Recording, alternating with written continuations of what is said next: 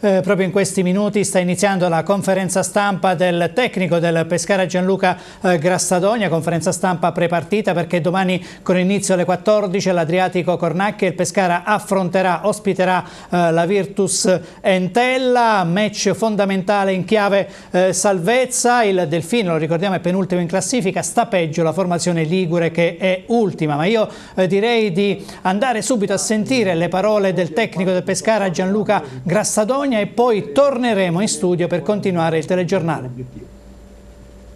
Mister, mm, buon pomeriggio, Costantini di TV6. Eh, le chiedo eh, come ha lavorato in queste due settimane eh, la squadra, vista la modalità insomma, eh, individuale, e se c'è il rischio purtroppo di vedere una squadra domani frastornata da tutti questi eventi, perché sono state due settimane dove ne sono successe di tutti i colori e lavorare e preparare una partita così delicata in queste condizioni eh, si rischia di essere un po', tra virgolette, storditi da tutti questi eventi. E quanto rischio c'è di vedere una squadra frastornata domani?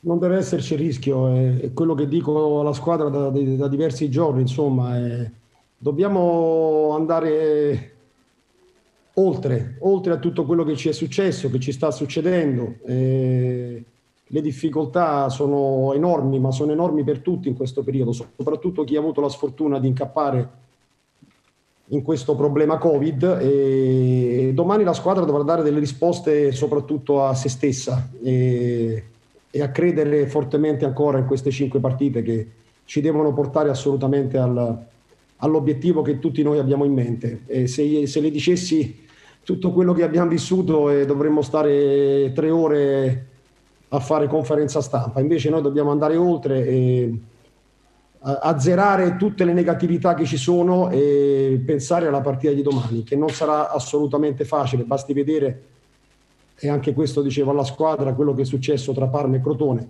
quindi nessuno ci regalerà niente, dobbiamo essere bravi noi ad andarcelo a prendere.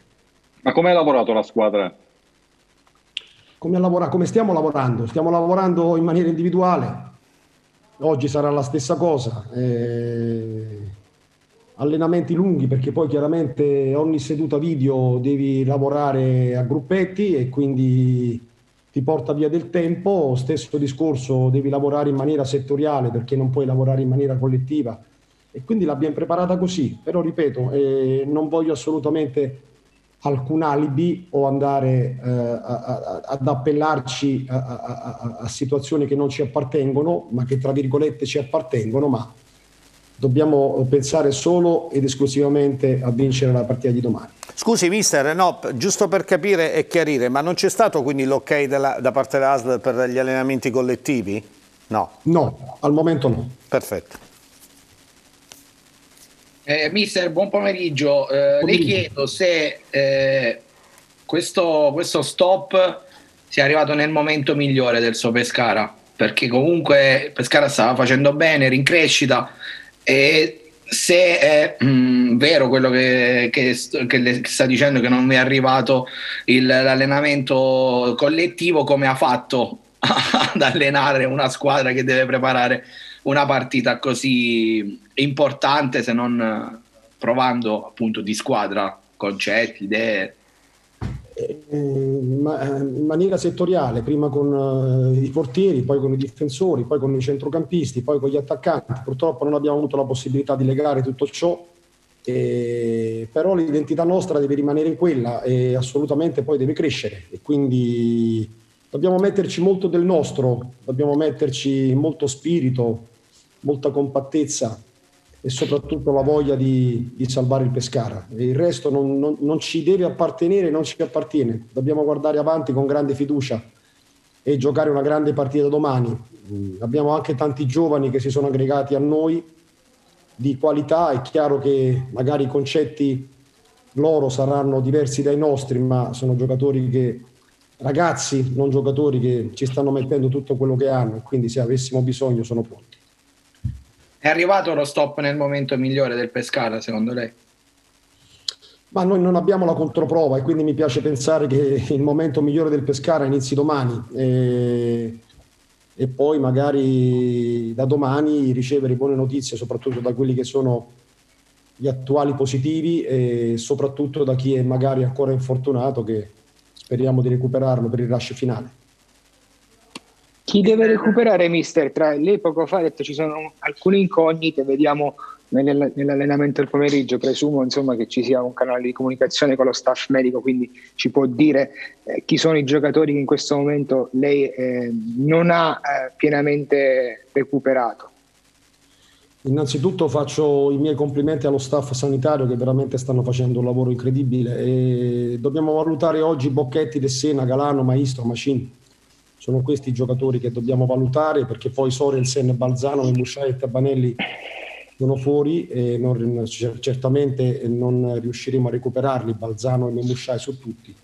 E per il resto spoglieremo la Margherita nel pomeriggio. Mister, buon pomeriggio.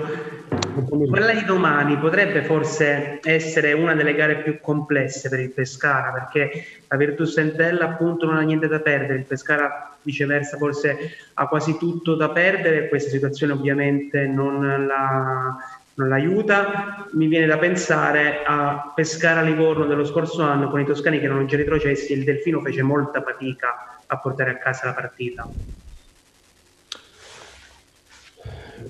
Sì, sicuramente è una partita difficile, eh, già di per sé, no? Eh, quindi non esistono partite facili, eh, non esiste pensare a, a un'Intella che, che, ci regali qualcosa, questo è chiaro ed evidente, quindi è una squadra che si è cambiato allenatore per dare una scossa, ci sono ancora cinque partite di campionato e quindi ognuno cercherà di fare bella figura, matematicamente l'Entella non è ancora retrocesso e quindi spingerà al massimo e noi dobbiamo andare oltre tutte quelle che sono poi le difficoltà successive eh, a quello che abbiamo vissuto in questi 15 giorni. Quindi certamente sarà una partita da giocare intensa, eh, dobbiamo essere soprattutto bravi, soprattutto bravi di testa, soprattutto bravi a leggere i momenti della gara e devono farsi trovare tutti pronti eh, perché domani ci sarà bisogno di tutti, compreso dei ragazzi che sono aggregati a noi.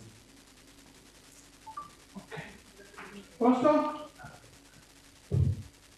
Se è possibile, ah, se è possibile un'altra domanda, alla luce di, di, quelle che possono essere le assenze potenziali, eh, lo so che è stato difficile lavorare in, in, queste settimane, ma si può vedere anche un Pescara diverso rispetto a, a, ai moduli visti in questo periodo con lei, 3-5-2 e 4-3. È possibile immaginare anche un Pescara diverso alla luce della conta che farà? Sinceramente no, anche perché anche se avessimo voluto non abbiamo potuto far nulla e quindi, e quindi tutto ciò non è possibile. Ma domani la squadra darà risposte importanti, al di là del modulo, al di là dei giocatori, chi scenderà in campo sa, chi subentrerà sa che domani per noi è una partita troppo importante.